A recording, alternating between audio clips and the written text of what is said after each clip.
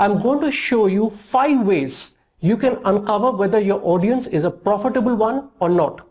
Watch over my shoulder as we discover profitable and unprofitable audiences. And let's start off with Amazon. Hi, and welcome to the first of a couple of tests we will do on the keywords that we have culled out from the keyword planner. So if you remember, we were looking at dog lovers and we had found out that uh, the top three or five, three to five keywords were, you know, dog barking, puppy training, dog crates, etc. Now the next thing that you have to do is head over to amazon.com. Here, go to the search bar and scroll down till you come to the Kindle store. In the Kindle store, take the first keyword and let's take um, let's take dog barking. When you put in dog barking and click it, you'll come up with a list of a couple of books on dog barking. And uh, what we're trying to see here is, are these books selling in the Kindle e-store or not? And the way to do that is to see what is their rank in the store.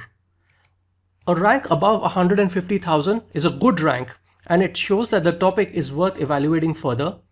So let's see what rank this book has, which is the top book in the on the subject of dog barking. So you come down to product details and you look at the rank here. It's uh, below 250,000, which means that not too many people are buying this book.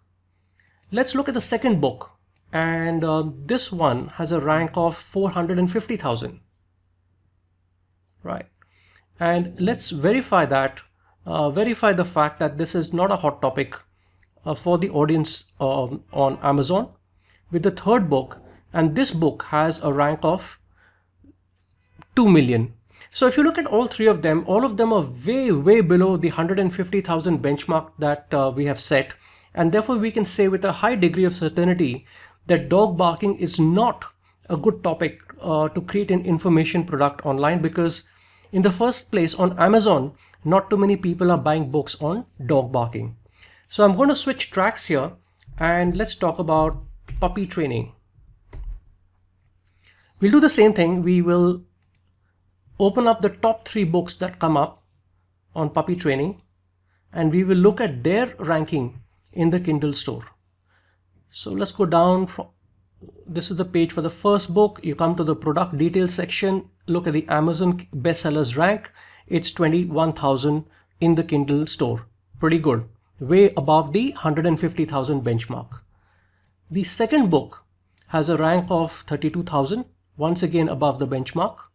And the third book has a rank of 44,000. So all three are way above the benchmark of 150,000 um, as far as the Amazon test is concerned, you have a winning topic and puppy training is something you may want to focus further on uh, if you're catering to an audience of dog lovers because clearly on Amazon, people are buying books on uh, puppy training.